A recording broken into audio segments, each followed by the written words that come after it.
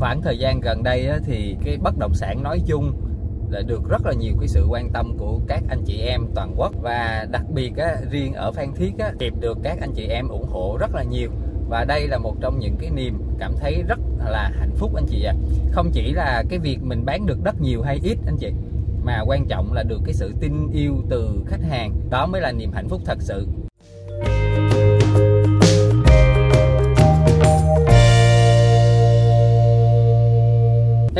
Xin chào tất cả các anh chị quay trở lại kênh của Hiệp Video clip ngày hôm nay. Hiệp sẽ chia sẻ cho anh chị cái cách sống của mình trong quá trình mình làm. Và tại sao thì khoảng thời gian gần đây Hiệp được rất là nhiều anh chị em khắp các nơi ủng hộ rất là nhiều luôn. Và cái điều đó nó mang lại một cái động lực lớn lắm anh chị. Động lực không phải là mình bán được nhiều là mình có tiền đâu anh chị Mà mình được công nhận, mình được sự ủng hộ, mình được sự tin tưởng từ các anh chị khắp các nơi kể cả nước ngoài nữa. Thì đó một động lực vô cùng lớn. Cho nên là mỗi lần mà hiệp uh, thấy được một cái lô đất nào nó ưng ý hoặc mình đi quay video cho anh chị xem á là mình đã vui rồi. Nhưng mà có những người khách hàng biến thành những người anh em luôn thì cái đó là không thể nói được anh chị ạ. À. vui kinh khủng rất là vui luôn. Và hiệp có rất là nhiều khách hàng ờ, đến mức độ mà y như là anh em trong nhà luôn. Tin tưởng được ờ, giao phó hết toàn bộ mọi việc cái suất đầu tư của các anh em là giao cho hiệp hết. Đương nhiên hiệp à, phải như thế nào thì mọi người mới làm cái điều đó.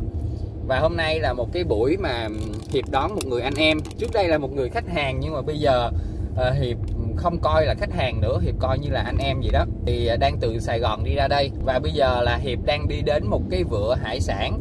Phan thiết nó không có gì nhiều anh chị ngoài sản vật ờ, rất là được nhiều người ưa thích đó là bất động sản.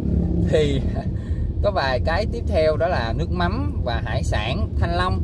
Những cái cơ bản như vậy thôi anh chị. Thì cái sản vật lớn nhất mà quan trọng nhất là bất động sản thì hiệp đã đưa đến rất là nhiều khách hàng của hiệp rồi.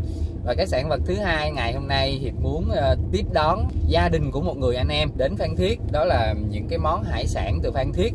Và đích thân của hiệp sẽ đi ra cái chỗ ở đây gọi là vựa đó anh chị vựa hải sản á, để mua hải sản. Nó còn sống luôn anh chị, nó còn bò bò, bơi bơi á, thì nó mới ngon. Thực sự là hiệp muốn đưa đến những cái gì tốt nhất cho những cái người đã tin tưởng, đã yêu quý mình trong suốt thời gian qua.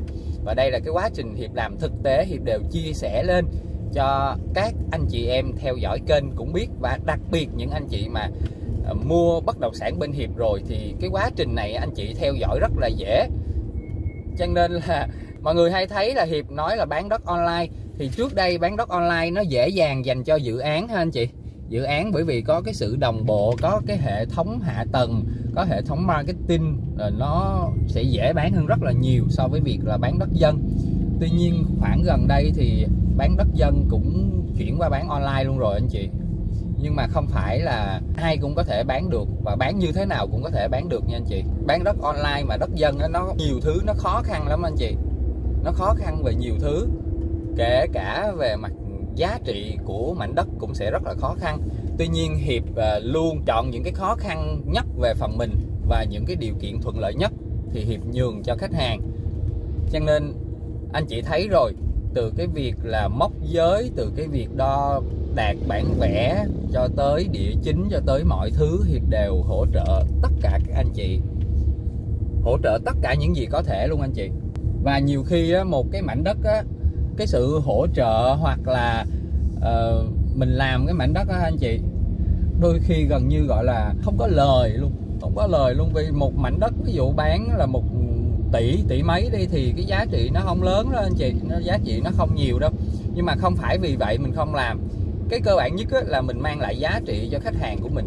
Thứ hai nữa là hiệp thích cái nghề này, thì hiệp mới làm cái nghề này. Và mình làm với những cái gì mình thích đó anh chị. Mình cảm thấy nó có giá trị, có ý nghĩa, thì mình cảm thấy nó vui. Chứ không phải là lúc nào cũng ờ, vì tiền anh chị. Nhiều cái mảnh đất bán nó không có tiền đâu. Nói thì nó hơi quá, nhưng mà gọi như là uh, bán vì đam mê kiểu vậy. Rồi quay lại câu chuyện là hiệp đang đi trên đường cái hướng này là ra mũi né nha anh chị. Đây là cái hướng ra mũi né. Hoặc là đi thẳng ra nữa là sân bay Phan Thiết đang làm đó anh chị. Đi thẳng ra tầm cỡ hơn 10 km nữa sẽ đến sân bay Phan Thiết đang làm. Và cái khu vực này phía bên phải của anh chị nhìn thấy đang là một con sông gần ngay cái ờ, cửa biển gần ngay cái cửa biển nhưng tàu thuyền đang đậu khá là nhiều bên cạnh này. Đó tàu thuyền đang đậu. Họ đi đánh cá đánh hải sản rồi rồi sau đó họ vô đây họ họ đậu họ trú ở đây. Rồi xong lại đi. Và cái khu vực này là khu vực uh, đánh cá đánh đồ nó nhiều cho nên là hiệp ra đây hiệp mua nó mới tươi ngon được. Và hôm nay được nghỉ sớm nhờ người bạn ra nhờ được nhắc nhở cho nên sẽ được uh, nghỉ sớm hơn thường lệ một chút xíu. Để đi uh, đón người anh em gia đình người anh em ra đây thăm. Thì khoảng thời gian vừa qua hiệp có rất là nhiều những cái người khách như vậy hiệp gọi là những người anh em. Không phải là ở sài gòn, không không phải là ở bình dương mà cả hà nội. Rất nhiều rất nhiều các anh em. Và có những anh em mà tin tưởng đến mức độ mà không không thể nào mà nói hơn được nữa. Mà giờ này vẫn chưa được, vẫn chưa được gặp mặt nhau trực tiếp luôn anh chị. Chưa được gặp mặt nhau trực tiếp một lần nào, nhưng mà giao dịch tiền tỷ với nhau chuyện rất là bình thường. Online hết toàn bộ chưa được gặp mặt nhau nhưng mà niềm tin đối với nhau nó rất là rõ ràng anh chị. Niềm tin và sự tôn trọng nữa. Đó, nó mà là dễ làm anh chị. Và đương nhiên hiệp phải sòng phẳng, phải rõ ràng thì anh em mới có thể làm việc được như vậy. Rồi, hiệp sẽ vào đây, hiệp à, coi có những cái món gì mà nó nó ngon, nó tươi nhất thì hiệp sẽ mua các cái món đó. Rồi, anh chị hãy cùng vào xong. Trong này coi là cái tiệm hải sản này nó nhỏ lắm nhưng mà nó bán đồ rất là ngon. Rồi, vào trong nha đây nè ở đây uh, bán đồ vậy nè anh chị. Bỏ vô thao vô đồ nè. Đó nên nó còn sống nha. Nó còn sống luôn. Tuy nhiên là đây nè. Đó nó còn nó còn bơi bơi luôn á. Nó còn bơi bơi luôn. Ốc cũng vậy nè. Ốc hương nè. Ốc hương nó lò ra như vậy là là nó còn sống nha. Là nó đụng vô là nó sẽ thụt vô. Đó đụng vô là nó thụt vô nè.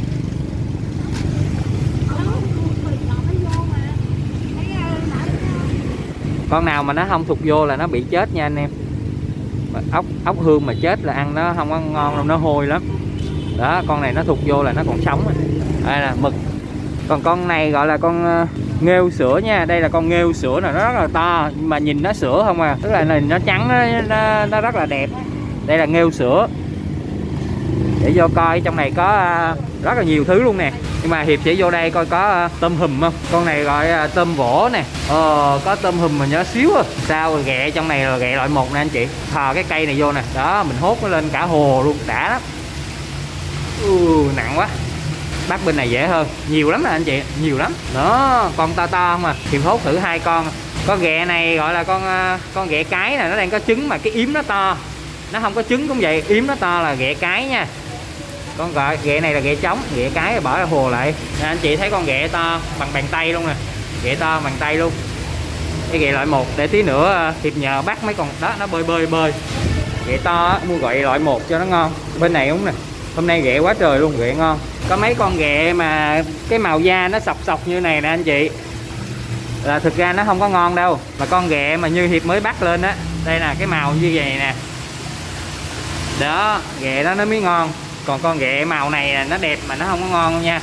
Rồi hôm nay ra đây thì ghẹ rất là nhiều. Có lẽ là mua ghẹ loại một.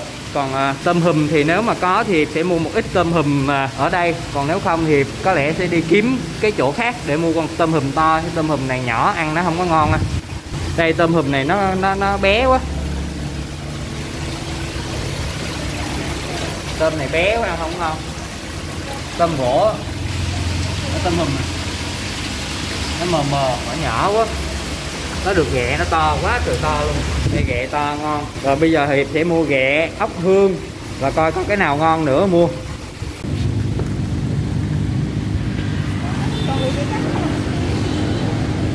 Đây. đó con ghẹ nó phải bự vậy nè. Nó mới đã nha. Con ghẹ vậy nó mới đã bự à đó nó còn chạy chạy luôn. Rồi sau một hồi thì hiệp à, mua được à, mấy ký ghẹ với lại à, ốc hương rồi anh chị. Nhưng mà chỗ này tôm hùm nó đang nhỏ quá thì hiệp à, sẽ đi đến một cái chỗ khác chỗ khác nữa để mua tôm hùm để đón những người anh em. Rồi tiếp tục đi. Rồi à, vì tôm ở bên kia nó ít quá. Qua đây thấy có mấy con tôm tích nè. Tôm tích nó bự ngon lắm nhưng mà có mấy con cua. Đây, có mấy con cua nha. Và hôm nay hiệp sẽ mua mua mấy con cua này.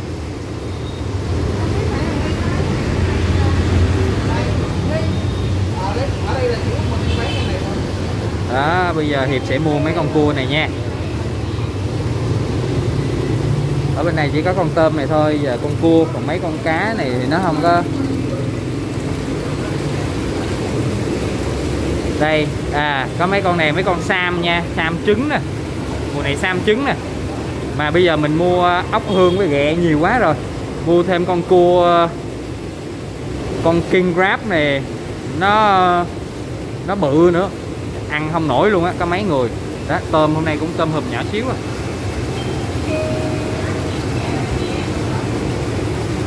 tôm hùm nó hôm nay nhỏ xíu á. Đợt này không có tôm hùm có mấy con ở dưới này nó đỡ đỡ hơn mà nó cũng không được bự. Cái con sam này hôm sau mua được nè. Mấy con sam này nó rất là là, là ngon. Sam này sam trứng. À có còn à, mấy con tôm này. À, tôm này công bằng mà nói á, là ăn à, nó chỉ đẹp thôi nha. Nó không có bằng tôm hùm ở mình đâu. Cái độ ngọt thịt á, là của con tôm của mình nó ngọt hơn nhiều. Tôm của mình là nó ngọt hơn nhiều nha rồi đây qua mua mấy con cua này về ăn đi. Rồi đây là cái con cua này nó đến uh, con cua này nó đến ba kg mấy rồi nha. Nó rất là nặng luôn cầm vậy thôi mà nó rất là nặng. Thì uh, mớ ốc hương ghẹ và cua như đây là chắc là ăn đã rồi. Mình sẽ mua con cua này. Rồi ok. Con cua này ba kg mấy nha. Con cua này nó đến ba kg mấy rồi. Nhìn nó vậy thôi mà nặng lắm. Là cái bàn tay của mình bằng có hơn nửa nó bàn tay bằng có nửa nó, bự chà bá. Giờ này cũng đã bắt đầu tối rồi anh chị, cũng 5 giờ mấy 6 giờ rồi. Và do tôm hôm nay hiệp thấy nó không ngon, tôm nhỏ quá cho nên là hiệp à, quyết định mua con king rap, con cua hoàng đế. Con cua này nó cũng à, thuộc dạng to nhất ở cái store, cái tiệm này rồi, chứ không còn con nào to hơn hơn nữa. Con này à, chỉ có ba ký mấy thôi. Ở đây họ bán như vậy thôi. Bây giờ hiệp sẽ đi đến resort của gia đình người anh em và sẽ có một bữa ăn tối. Hiệp hy vọng đây là một bữa ăn tối rất là đầm ấm. Thì thông qua cái video này, hiệp một lần nữa muốn cảm ơn tất cả các anh chị đã, đang và sắp tới nữa là đã yêu quý bên hiệp. Không phải là anh chị phải mua bất động sản bên hiệp thì hiệp mới yêu quý, hiệp mới cảm ơn. Mà hiệp cảm ơn tất cả những anh chị, dù có mua hay không mua, nó không quan trọng anh chị. Đó không phải là vấn đề cốt lõi. Vấn đề cốt lõi là chúng ta sống với nhau như thế nào, có tử tế, có giúp đỡ nhau được hay không, có sống tốt với nhau, sống đúng với nhau hay không thì điều đó mới thực sự là điều mà mà quý anh chị ạ. À. cái đó mới không thể quy ra bằng tiền được hiệp rất là biết ơn các anh chị trong khoảng thời gian qua đã ờ, luôn ủng hộ hiệp, đã luôn động viên hiệp và đó là một trong những cái điều rất là quan trọng tạo thêm động lực cho hiệp và đội ngũ cộng sự ngày càng hoàn thiện bản thân mình, hoàn thiện công ty để phục vụ anh chị tốt hơn, đã tốt thì phải tốt hơn nữa. Đó là những cái chia sẻ phải nói là từ trái tim của hiệp đối với tất cả các anh chị. Thôi hiệp sẽ tạm dừng video ở đây. Cảm ơn các anh chị đã xem. Chúc anh chị một ngày tốt lành và hiệu quả. Bye bye anh chị. Hẹn gặp lại ở video tiếp theo vào ngày mai nhé.